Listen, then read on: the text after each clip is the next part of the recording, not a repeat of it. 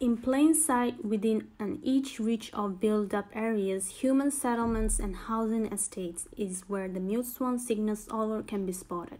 This strongly territorial water bird utilizes a variety of habitats all over Europe, both freshwater rivers, lakes, ponds, and marshes, as well as saltwater and marine territories.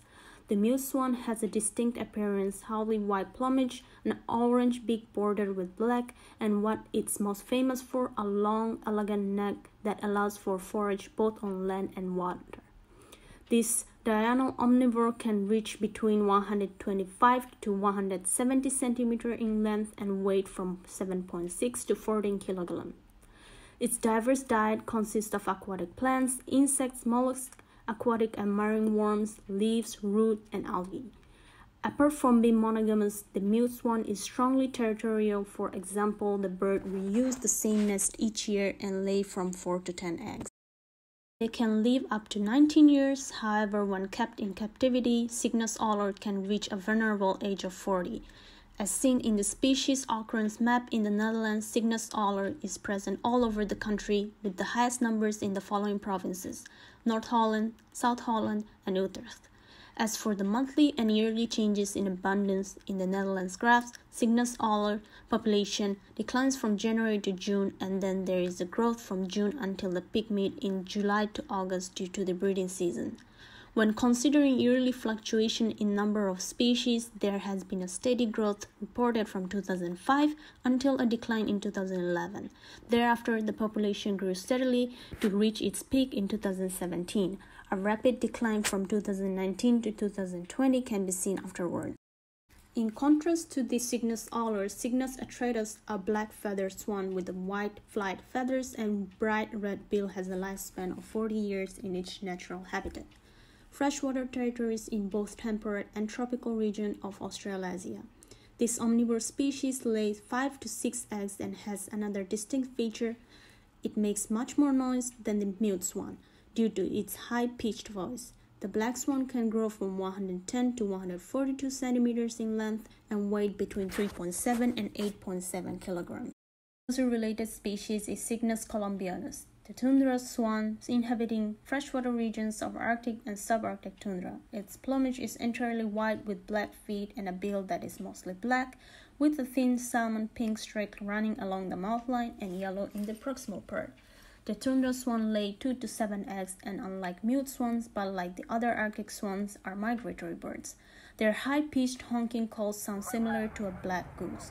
As a herbivore feeding on aquatic vegetation, grass growing on dry land, leftover grains, and other crops such as potatoes, tundra swan can reach up to 115 to 150 centimeters in length, 168 to 211 centimeter in wingspan, and a weight range of 3.4 to 9.6 kilograms, and it has a lifespan of about 24 years. Similar in appearance but larger can be found in Palearctic. Cygnus cygnus, the whooper swan, reaches the length of 140 to 165 centimeters and a wingspan of 205 to 275 centimeters within the lifespan of 16 years. The weight is typically in the range of 7.4 to 14 kilograms. Its characteristics Deep honking call can be heard in wetlands and freshwaters. As a diurnal herbivore, the whooper swan feeds mainly on aquatic plants and lay 4 to 7 eggs. As you can see, a variety of closely related species of swan inhabits numerous regions around the globe. They can be distinguished by their morphology, life history, and behavior. However, common characteristics such as monogamy are also present. Their evolutionary pathway is Cygnus atratus and Cygnus olor diverged from Cygnus columbianus and Cygnus cygnus 8.8 million years ago. Subsequently, Cygnus olor diverged from Cygnus atratus 5.9 million years ago. From this point, the sole focus of this documentary will be the mute swan Cygnus olor.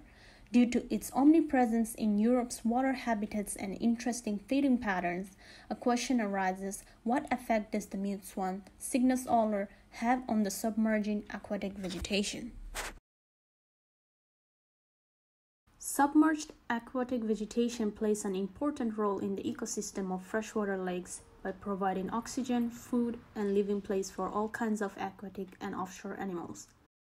Mute swans often eat aquatic vegetation, consuming about 3 to 4 kilograms of vegetation per day.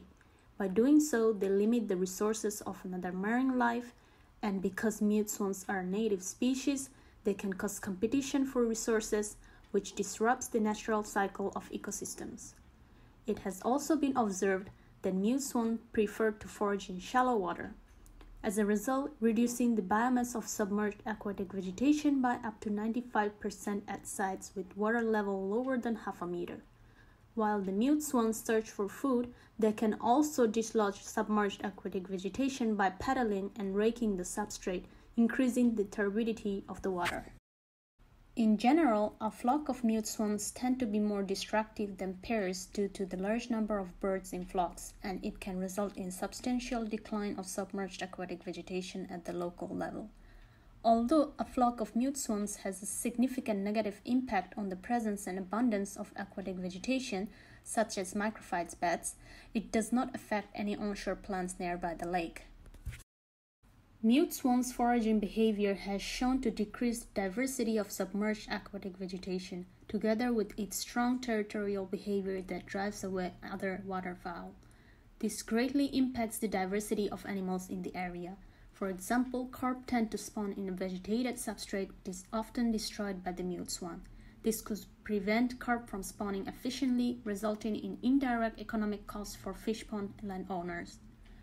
According to the investigations done, the negative impact of mute swan on the submerged aquatic vegetation is a slow process that only shows significance after several years, but due to its tendency of reusing the same nesting spot every year, it is not hard to achieve. In the past, the mute swan's impact on the lake ecosystem has been researched in depth in the US and Canada because it was introduced as an invasive species. They thrive due to the lack of natural predators and rich food sources. In recent years, European mute swans also have increased in number due to not being hunted as much and a better living environment due to less pollution. Many ecologists and scientists find this a concerning situation and therefore we should keep a close look on the future development.